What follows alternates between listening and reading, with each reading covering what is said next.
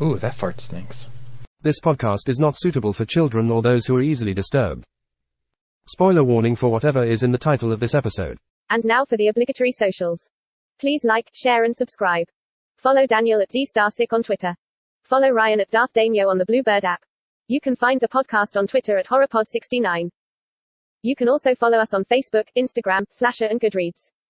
Become part of the Disturbed community by asking for the Facebook group and Discord links. Send dick pics to the horror of Babylon podcast at gmail.com. Support the show at patreon.com slash the horror of Babylon. In closing, you can let your friends know that the horror of Babylon is available on YouTube, Apple Podcasts, Spotify, Audible, and all other major podcast apps.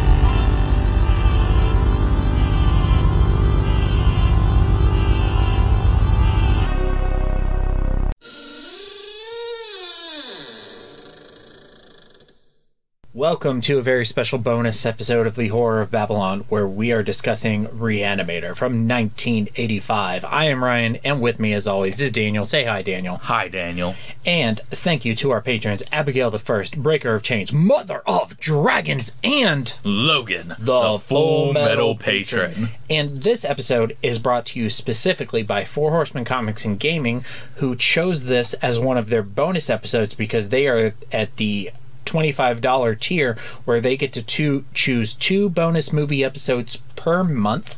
And you can visit Four Horsemen Comics and Gaming at the Morgantown Mall in Morgantown, West Virginia, or at the Mall at Robinson in Pittsburgh, Pennsylvania, and say hello, hello to Ronald the Third, Grampus of Christmas. And I'm sorry if I'm slurring my words because we are drinking Tropical Beer Hug from Goose Island, which is 90, 99. 99% alcohol. It's, it's 9.9% alcohol. We'd be dead.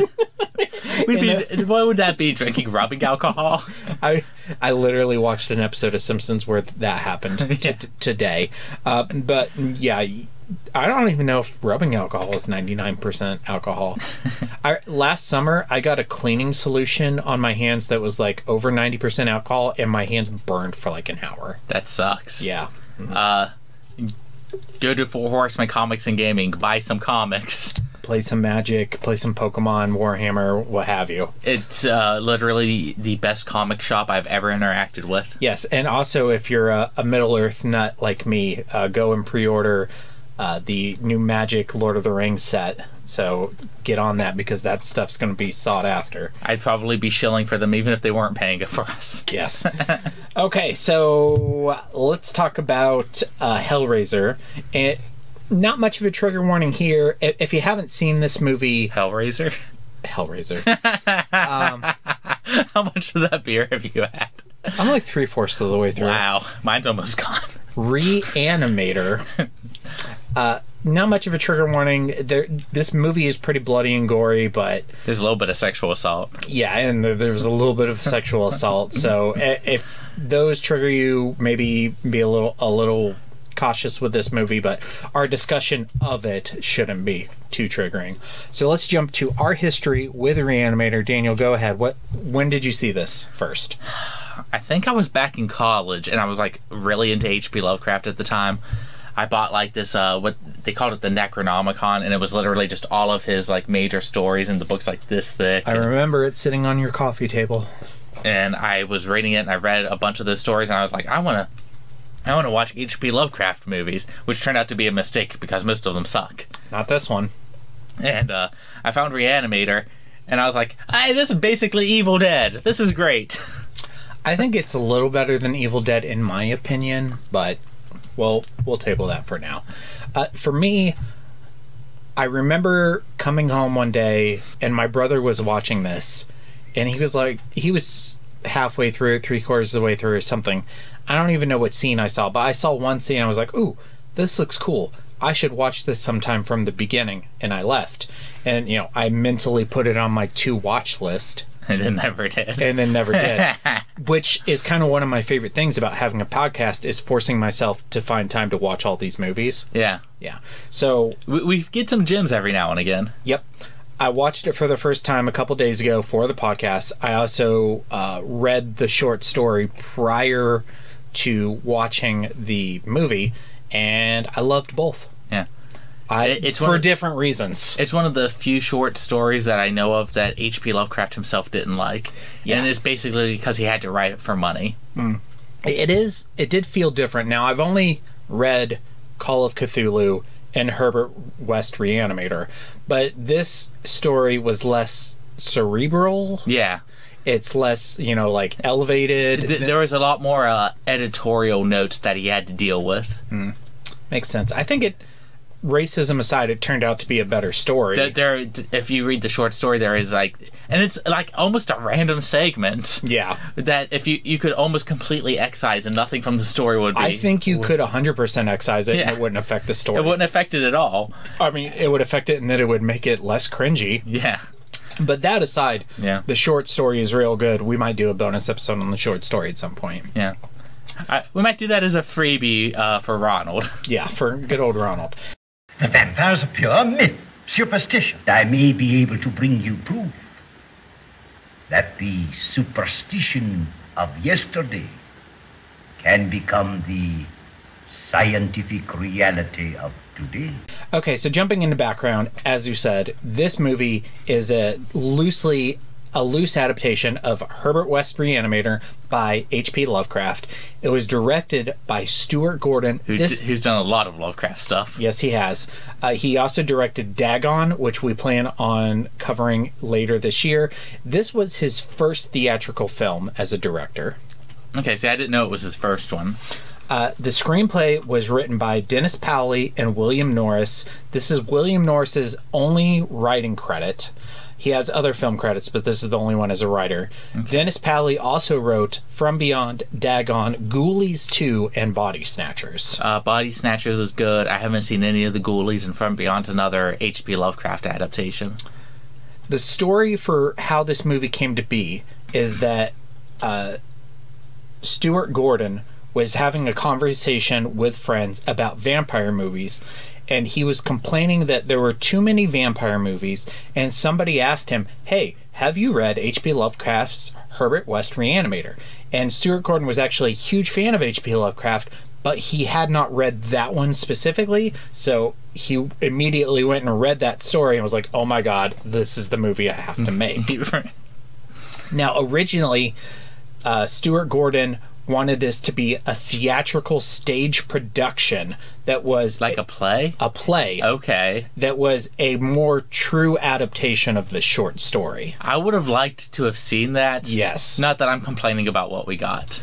and that from there it evolved to being a half hour television pilot mm-hmm. and the network said it's not going to really work as a half hour show so they made it an hour long show and they actually wrote 13 episodes and then from there it evolved to being a theatrical film which is what it originally became Wow. now, and it was actually originally released without a rating, and they had to make an edited version to get it down to an R rating.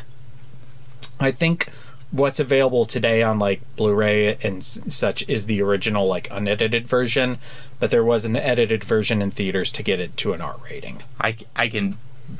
I'll bet you a dollar I know what they cut. I actually don't know, so go ahead and, and guess. Uh, the uh, the head going going down on the girl or trying to. Or I would imagine that's one of the things. they probably had to cut a majority of that scene. yeah. Um, Can according you guess what my king is? that. Yeah. that scene. uh, according to Dennis Paoli, uh, they did multiple drafts of the script, and the original draft had no humor at all. It was straight. It was just the straight, like a straight adaptation of the. the I, d- I don't know if it was a straight adaptation or probably it- more but- tonally consistent. Yeah, it was just it was not the and the humor itself came out with revisions and more so like actually on the set as they were filming. Like seeing what the actors were doing. Yeah. So Uh, if you haven't seen this, I, I'd really classify it as more of like a horror horror comedy, like a tongue in cheek. I always compare it to Evil Dead. Yeah. I say it's in that kind of vein of horror. I think Evil Dead Two feels like a really good comparison. E- especially Evil Dead 2. yeah. It's not exactly the same vein, but like if you like Cabin in the Woods, you'll probably like something like this. Yeah. It had a budget of in the range of 900,000 to 1.3 million and it took in about 2 million. So, So that's not great. Yeah, I mean it kind of mixed. It, but it has a huge cult following these days. Yeah, it's considered a cult classic and I get I think in today, you know, there's people spend more on promoting movies. yeah. So you have to get a higher multiplier of your budget to consider it to be successful, and that wasn't as true back then, but still, you still have to make at least double. It probably at best broke even. Yeah. Uh, and this, and I didn't know this until I was writing the outline for this episode. It spawned a series. There are two Yeah, sequels: there's two sequels. Bride of Reanimator from 1990 and Beyond Reanimator in 2003. Ryan, are we gonna watch them? I love this movie, and I love, I- I, I love the short story. I actually haven't seen these, so they would be fresh for both of us. I think we have to do it, especially if Four Horsemen Comics and Gaming orders that as their next two episodes. So uh, we'll we'll see what they say. Um, hopefully they do that rather than some more uh, like Valerian and stuff. So I don't. I mean, I kind of liked what we got out of Valerian in terms of comedy. it was a good episode, and I had fun watching it with you. Yeah, it, that's a. If we get more stuff like that, we'll have to watch them together. Yeah, but I I would not have been particularly happy watching it by myself. it, at least it's pretty. Yeah. Like I, all right, we're not here. We're to talk- moving on. We're not here to No talk more- about Valerian. Valerian. And that's that. Another story in the classic, infallible three act structure. Good enough for Aristotle, good enough for The Simpsons. Mr. Szyslak, I have a feeling there's going to be one more act to this story. Well, I'm not hanging around for that. Four acts. Okay, structure and themes, Valerian. Uh, so I have two things under structure and themes. First, I want to talk about it as an adaptation of the short story, and then I also want to talk about it comparing it to Frankenstein. So, in terms of an adaptation of the story itself, what are your thoughts? Um, I wouldn't say it's particularly good, but it doesn't exactly spit in the face of the source material, if that makes sense. I feel like with adaptations, you either want to be super true or you want to take the core ideas of the story and do your own thing. And I felt like they took the core idea. They, I felt like they had the spirit of the story. Yeah. and maybe not necessarily like the tone even though i think that story is a lot funnier than like a lot of other hp lovecraft stories and i call it pulpy Yeah, it's very pulpy. and uh but they took a lot of like certain plot beats like the headless zombie Yes. um the this the mysterious serum uh herbert west's obsession like the character herbert west himself is pretty much herbert west Yeah. The the character so Herbert West from the movie is, is basically the same as he is in the story. Dan, who is unnamed in the story, he's the narrator from the story, is very is changed a lot, but we'll get to that when we get to characters. yeah Um, I think it's a good apta- adaptation in terms of themes, but not a very good ap- adaptation in terms of plot. Yeah. But I think I would probably call worked. it something like a C plus in terms of adaptation. Yeah. I've seen way worse. I've seen a oh, little yeah. better. Yeah. Maybe B minus even. I would say it's even more of like a, A homage. a, a homage or a r- kind of a it- reboot or Yeah. Is is it pronounced homage? Homa- I mean, I- think it's tomato tomato. I I pronounce words wrong all the time. I'm okay being corrected as long as I. and I, I normally Oh, don't don't even correct you because I just like to to hear you talk. I don't even think I said anything about Tom Curry for like six episodes. Oh, I do it on purpose now. That's fine. yeah. Okay, and then Frankenstein. So to me, as I was reading the story and watching the movie, to me, if I could summarize the the story of Reanimator in one word, it would be Frankenstein. If if uh, Victor Frankenstein gave even less of Of a his fuck. fuck. yeah. It, it was Frankenstein if he didn't stop being obsessed. Victor is a questionable person at best. I think somebody with good intentions who made bad decisions, but Herbert West is not a good good person. I, I would say Herbert West is the Nazi scientist who just wants to see what he can get away with. He's Sheldon Cooper. If Sheldon Cooper chose like a medical path, Yeah. if he was in uh, experimental medicine instead of uh, physics. physics. Yeah, exactly. He's like, yeah, kill the dogs. Who gives a fuck? I'll get answers. it's just a dog. Yeah, That's that's his personality in this movie. it- and it's funny because uh, his roommate Dan is very put upon and is very much like Leonard Yeah. Hofstadter. Yeah. All right. And, and the actor just plays it so straight. Yeah. He could have played this character in an actual horror movie.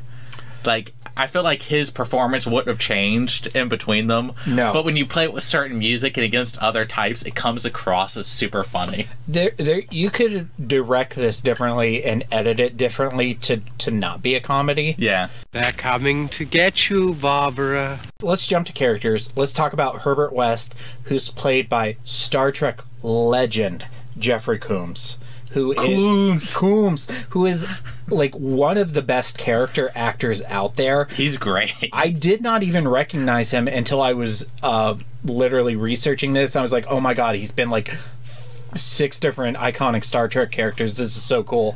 Uh, but and he's also much younger in this movie than he was when he was in Star Trek. This was one of his earlier works, wasn't it? um. Let's look. I, I love that we just go to IMDb and learn stuff along the way. Yeah, I mean, you got to learn. Who who was he in? He was Samuel Sterns. I don't know who that is. Okay, I'm gonna have to rewatch Earth's Mightiest Heroes now I've just to been see. wanting to. It's great. Is it on Disney Plus? I don't know. Holy shit, he's been in so much. yeah. Oh, he's he's in the sequel. He's in Bride of Reanimator. Uh, Yeah, uh, Herbert West just comes back is the only thing I know. The first thing he was in was in Butch Cassidy and the Wild Bunch. Okay, so it was like It was relatively early. pretty early in his career. Not his first, but he was also in From Beyond, which is also a Stuart, which is also a Stuart Gordon movie. It's another Lovecraft adaptation. Okay, well maybe we'll cover that as well. Yeah. Okay, so just general thoughts on Herbert West. Uh, A plus. He's S tier. He's in terms of like horror protagonist slash anti-hero slash Deuteragonist. Well, There's lots of things you could list this guy yeah as. like semi villains like yeah, he he's iconic. People like reference this guy all the time. I think he proves that your protagonist can not be like lawful good Yeah, and still be entertaining and he's chaotic neutral at best. yeah I, I think chaotic neutral is a good description for Because he's literally just doing whatever he needs to to find out how his serum works. Yeah. I want to find. It's the same thing with the story. Like, how'd you come across this? but that's part of the fun is like not knowing. yeah And the more you explain, the worse it would get. Yeah, exactly.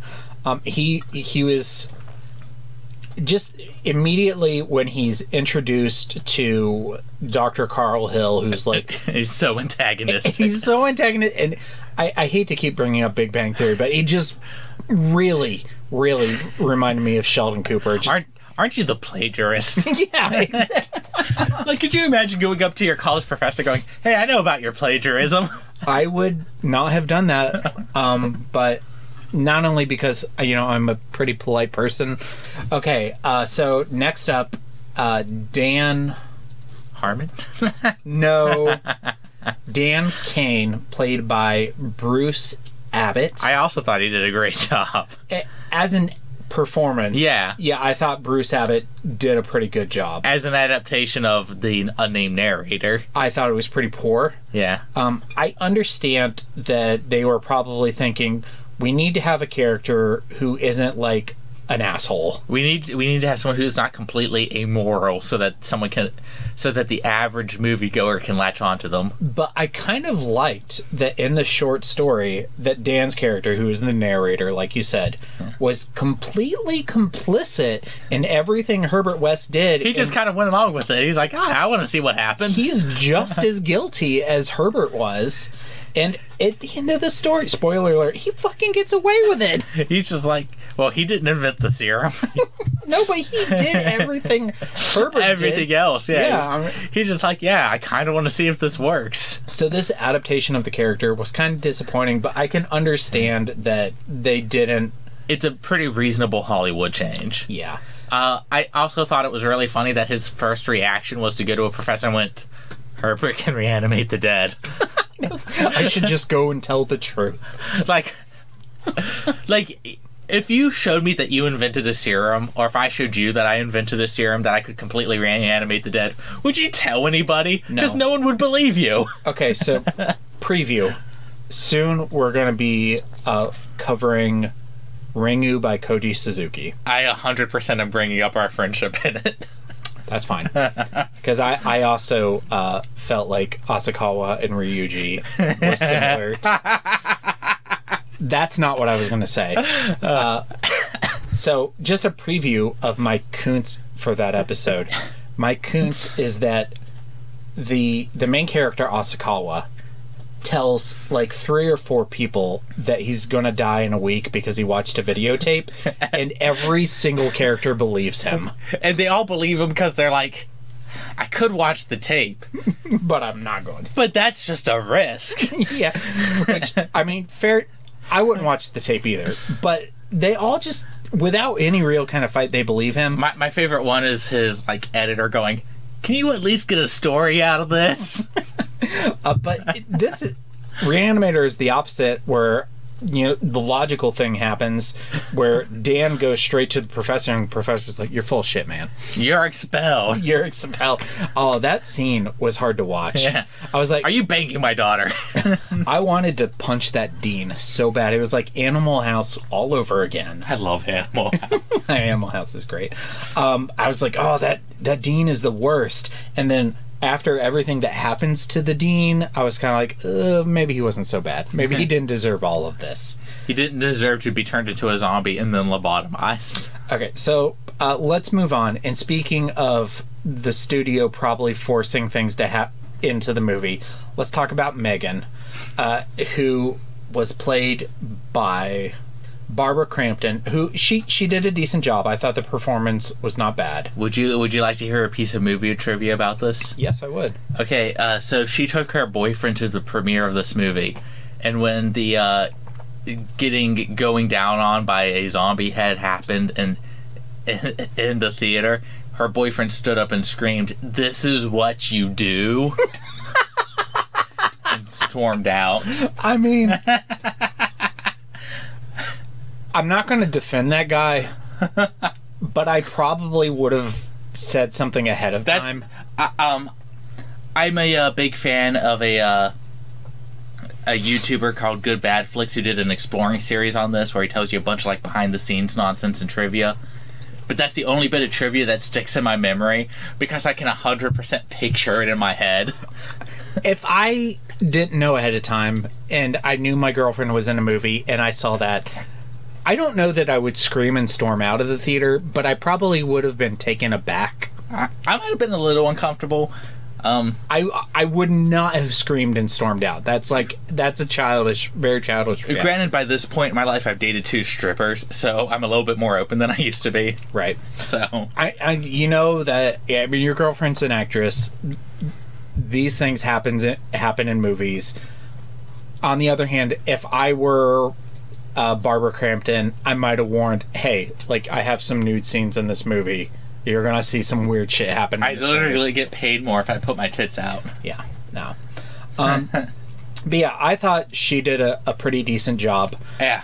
Uh, the character itself, I definitely kind of viewed as like a a studio insert. Like we need We need a woman in the movie. we need kind of a, a romance subplot. People won't watch if they can't connect. Eh, Honestly, It's the whole reason that Guillermo del Toro's Lovecraft movie doesn't get made because he has a script. He's ready. But every studio has said, "Hey, we need you to add a romance subplot," and he says, "No, that's not in the story." I have uh, I have a fan theory that's why he uh, didn't end up doing the the Hobbit movies because he he wouldn't um, be okay with Adding the elf character, yeah ex- well maybe not so much adding her character but oh, but like making the romance subplot. yeah exactly because that's not the point of the story. that's my per that's my personal theory as to why the project was handed from him to Peter Jackson. Okay, that that makes sense. I don't know if it's true. That's also my least favorite part of those movies. I like it. I think it fits the themes because a huge theme of, of Tolkien's stories are that uh, cross species romance between uh, humans and elves. And this is just the same thing, but elves and dwarves. And it's a little bit more meaningful because historically, dw- elves and dwarves are enemies. However, I definitely, like somebody who hasn't read all the books, I can definitely understand that I just wanted more dragon. yeah. Okay. All right. All right. We're not here to talk about the Hobbit movies.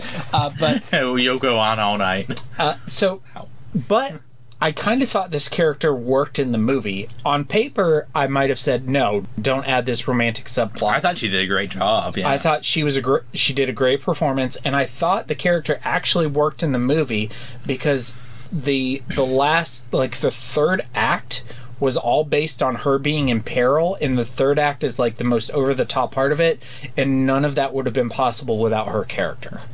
It also kind of brings up a very like a moral quandary right at the end of the movie. And this episode is sponsored by Blue Moon. Not Belgian- really, not really, but you can always sponsor us. Yeah, Blue Moon, reach out. We will we will accept a sponsorship for as little as ten dollars. If we ever get this podcast like really off the ground, I'm gonna reach out to Bad Dragon. Yeah. yeah, I'll be like, I will show you every episode. Um, All right. Uh, so our next character is Doctor Carl Hill, played by David Gale, who is the scummiest horror villain. And like he he's got to be like in the top twenty scummiest horror villains out there. The man gives uh, giving head a whole new meaning. Oh. He wants to get ahead in his field. He's ahead of the curve. So, just the basic level, he's that scummy academic who like plagiarizes other people's work and takes advantage of it. He also reminded me of that one professor uh, from Frankenstein who told Frankenstein he's stupid. Yeah, yeah, he did. I don't Even though remember that character's Frankenstein clearly knows what he's doing because he creates life. and that may have been the original uh, inspiration for. Well, I mean, Like Car- in the short story. in the short story, yeah. Uh, so adding on top of that scummy academic character, he's also just like a secret pervert who's obsessed with this woman who's like 40 years his junior. And he's me in the future. and I know like she's 18. oh, okay, never mind. Technically, I mean she's a college student. my my cutoff age is 21 now. Oh my god. Uh, so technically, th- there legally there's nothing explicitly wrong with their relationship, but if you're like keeping a There, there's a certain power dynamic that's not great here. exactly, and also the fact that you're keeping like the secret Manila folder with, you know, like strips of her hair. Oh, it's so weird. I love it. So creepy. And you're you're using the fact that her father is going through this horrible medical issue to leverage yourself into a position of power over her to try and get her to come to you at, in sympathy like it's completely disgusting. You're trying to get him to uh, uh, coom to you. I mean, Carl Hill is is like the worst. And also, how the hell did he get back to his office as a headless body carrying a head in a tray without anybody seeing anything? with the mannequin head on No, top. and that's the, that's not the next thing. So, Okay. So after he gets decapitated at Dan and Herbert's house, the headless body just carries the head in a tray back to his office, and then when he goes to the hospital, then he has the mannequin. yeah, because he first he has to find a mannequin head. Well, he had it in his office. Oh yeah, because he has the uh, the dissecting or the uh, yeah, the medical dummy. yeah. But like, I know that's like willing suspension of disbelief, but like, what? That always cracks me up. I know, and that's why the, this movie. I don't think this movie would work if it wasn't a comedy. Yeah. But I mean, Carl, fucking Carl. I love this performance. Yeah. Uh, well, no, David Gale Yeah, did an awesome job. I, I love. I'd let him go down on me. I would not. um, I love the fact that when the headless body takes the head out of the duffel bag when they get to the morgue, he's like gasping for air, like, "Oh, I couldn't breathe." I'm like, "You don't have fucking lungs. You're, you're just a head. What the hell?" I need blood in this tray. That was gross. this movie's kind of gross. It, it is very gory. I watched this while eating lunch. I don't recommend that. Did And- you have Chinese food? Did you have noodles in your mouth? No pizza pockets. Oh, that's even worse. Um, and I'm not really like my stomach doesn't get easily turned. I, I'm pretty desensitized, but even I like thought twice about eating. I kept eating. I didn't stop, but I I don't really recommend this movie while eating. No, not at all. And it's definitely like in that like 80s horror, like super graphic practical effects kind of like uh, Yeah. Dawn of the Dead kind of It's very Dawn of the Deady with its gore. Yeah. Uh, and the last character I wanted to talk about was Dean Halsey, played by Robert Sampson. You are spelled. Great, great performance. The guy, he nails that like '80s college dean dick. Robot House. exactly. I wa- I was already thinking about including Robot House there, but like that Revenge of the Nerds, Animal House, Yeah. just like oh my god, this guy is such a knob. I uh I, I also loved his performance as the zombie. Yes, it was great. Uh, it was funny how he so quickly became your least favorite character to such like a sympathetic character as soon as he became a zombie. Yeah. You're like, "Oh, I feel so bad for him." He's like cowering in the corner of the padded room. Poor guy and then he gets his uh what's it called where they fuck with your brain? Lobotomy. A lobotomy, yeah. I was like, "Oh, he he got a widow lobotomy with a widow laser You with know a the laser uh, drill." You know the person who invented the lobotomy got a Nobel Peace Prize? What? Or a Nobel Scientific Prize. what the fuck? Yeah. Yeah, that's fucked up. Yeah. I mean Kissinger also got a Nobel Peace Prize. so- Henry Kissinger is one of my favorite historical figures. He not because I admire him, but just because Yeah, he's, so, no. he's so interesting. I, he is interesting. Yeah. But he got a Nobel Peace Prize.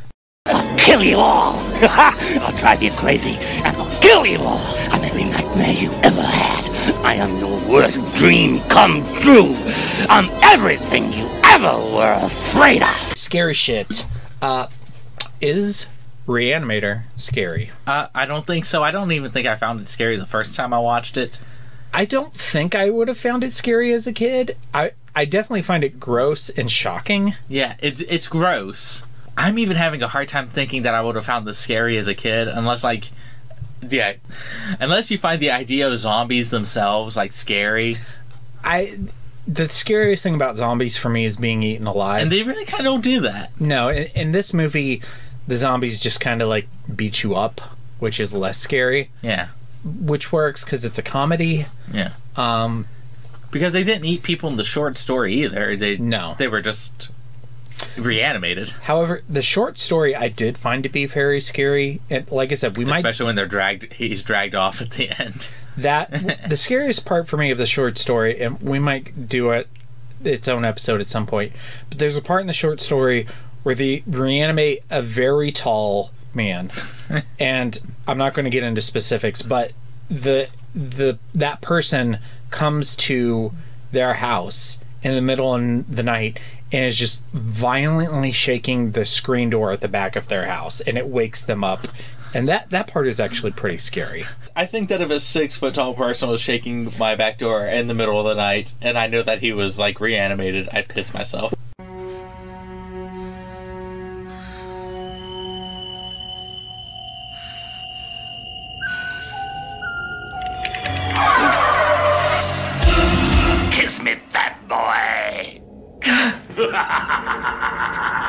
Jump to Kiss Me Fat Boy. and I literally, I knew we had to do Kiss Me Fat Boy, but I didn't even know what to put. Like, Well, you have uh, fucking the dean's daughter, which I would never recommend. no, um, no. Un- Unless it's like the dean's daughter of a school you don't go to. Yeah, I mean, even then, I've seen enough college movies to know that it's generally a bad idea. It's like fucking your boss's daughter.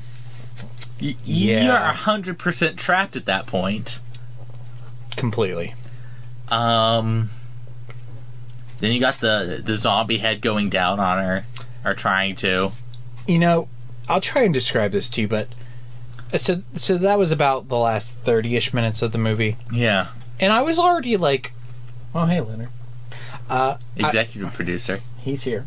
I, I was already like really appreciating the movie like an hour into it. Was this movie is actually like really good. Pretty great, isn't Yeah, it? I thought it was great. I didn't want to like uh, impose my views on the movie on you. No, I appreciate you letting me form my own opinions. But and then the last like twenty to thirty minutes happened, and like, what Oh, the actual fuck? And it takes a lot. I'm super desensitized. It takes a lot to shock me. It kind of jumps the shark. Yeah, it super jumps the shark. It's it is the uh, the Henry Winkler of of horror movies. The, the only way I've been able to rationalize it is the zombies kind of become a super impulse. Yeah. And what's this guy's impulse? He's obsessed with this super young chick. Oh, so yeah. of course he's and uh, you know becoming the best at whatever.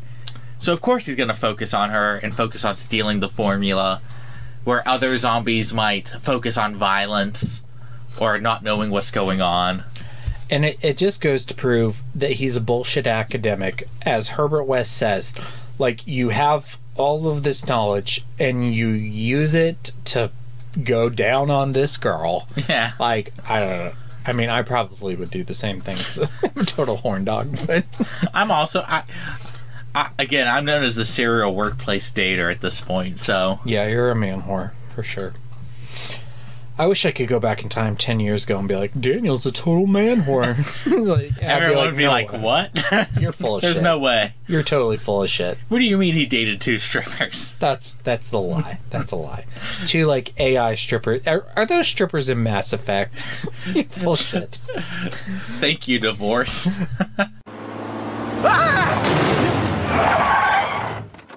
Oh my god, are you Stephen King? No, I'm Dean Koontz. Oh.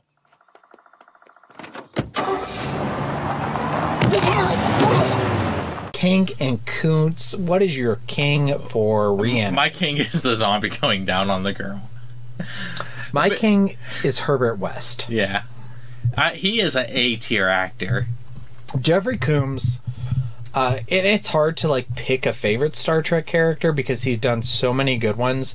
I mean, Weyoun from Deep Space Nine is probably the most iconic, but I, I love his Andorian from Star Trek Enterprise. My favorite still probably William Shatner. Yes, William Yeah. Shatner is also very good. But yeah, I mean, uh, Her- uh, Jeffrey Coombs as Herbert West just totally sells. I can't picture anyone else in that role now. No, I cannot. Um, you know who could maybe like if they remade this movie, who could maybe do that? Like Sheldon Cooper. like Jim Parsons. Jim Parsons could definitely do it, but I was thinking Benedict Cumberbatch. Probably. He Yeah. could probably do it. Yeah. I, I mean, I hate this term, but like, probably a method actor is someone I would pick.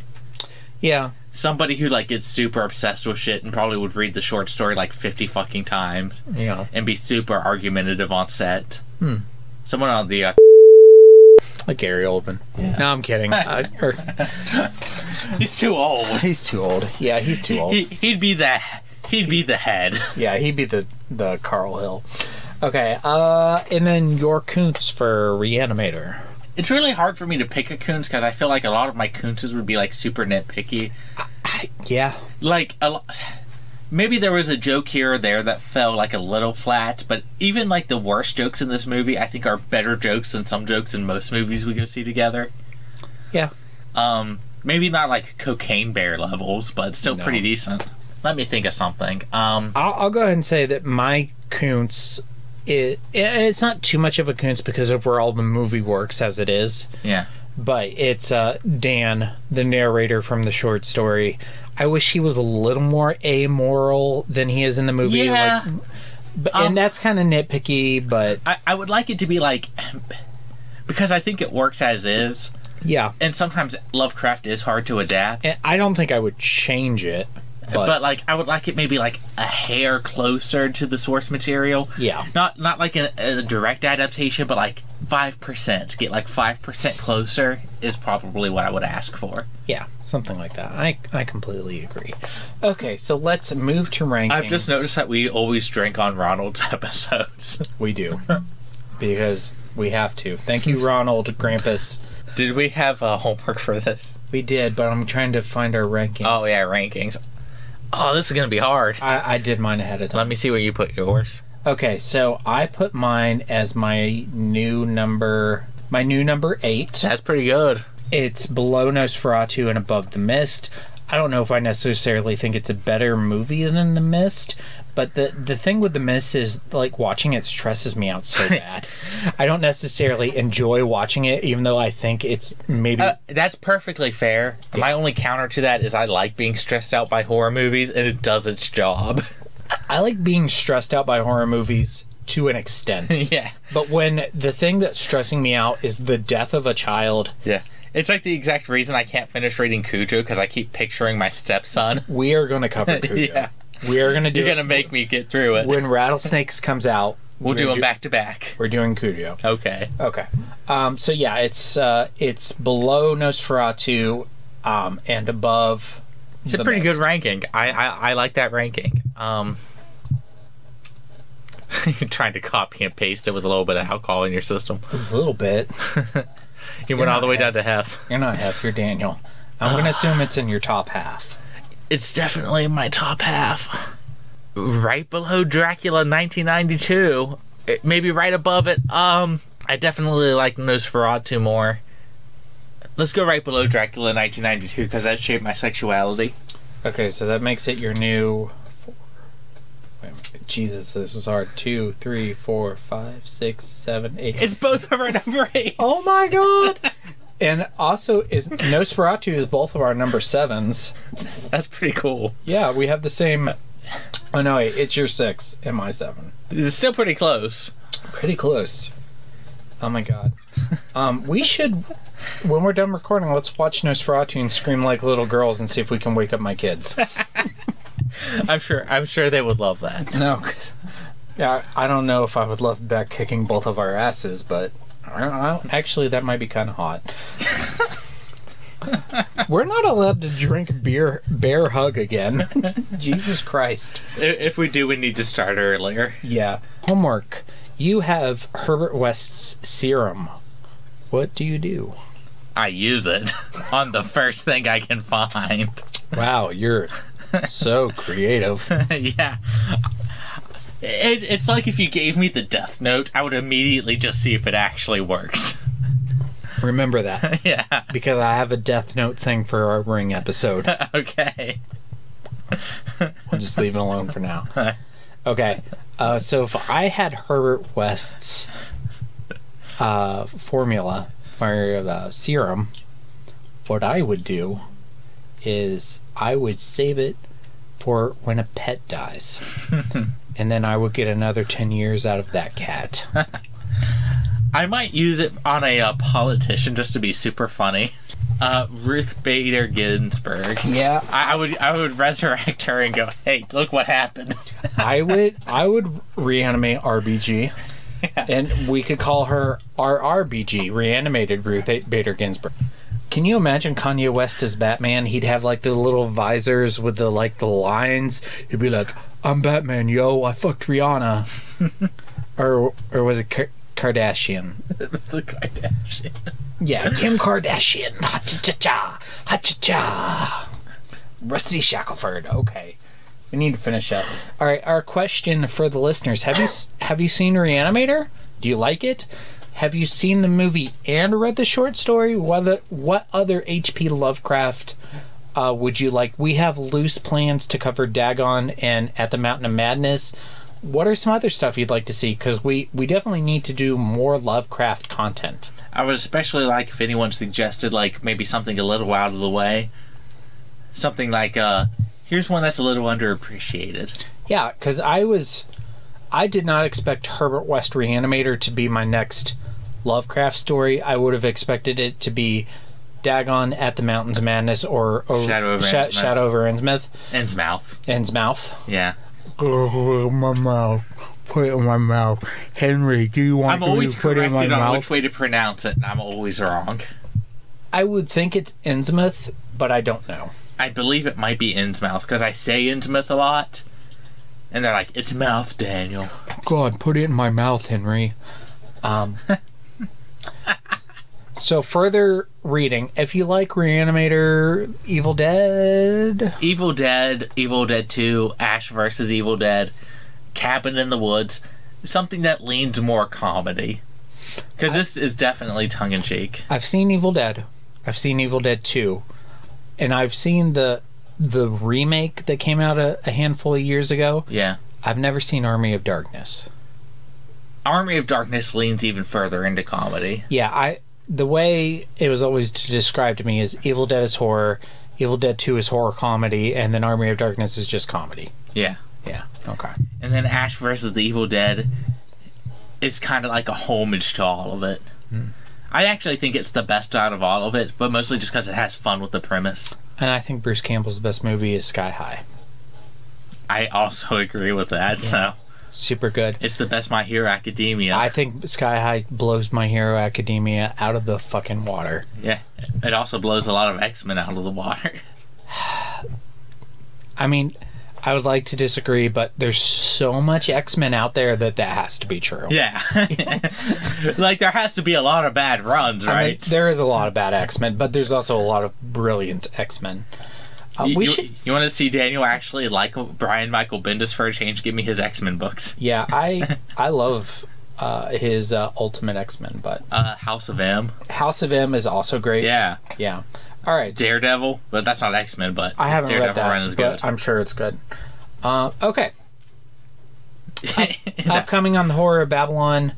Um, I'm not 100 percent sure when we're posting this, so I'm not. Things are going to come up. Uh, we talked about Ring tonight. Eventually, we'll review Ring. Yeah, our next kind of big projects after so after the Dracula stuff, we're gonna do River of Teeth, which uh, the Hippo book, and then after that, our, our two big projects are Ringu and Pet Sematary. Yeah. Yeah. And Lolita's after that, right? I don't know. Okay. I know I downloaded it. Yeah, the uh, the audiobook's pretty good.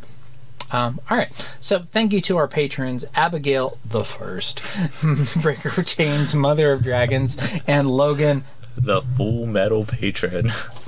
the Full Metal Patron. we did that at the same time, right? Yeah.